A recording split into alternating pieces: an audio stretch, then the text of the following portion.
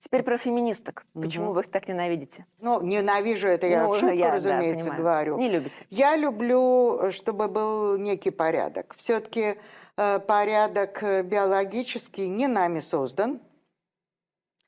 И не вижу причин его сознательно рушить. Я никого не хочу переубеждать из тех, кто считает, я неправильно родился. На самом деле я, ну, трансгендерные все эти фокусы, я без издевательства, я говорю всерьез.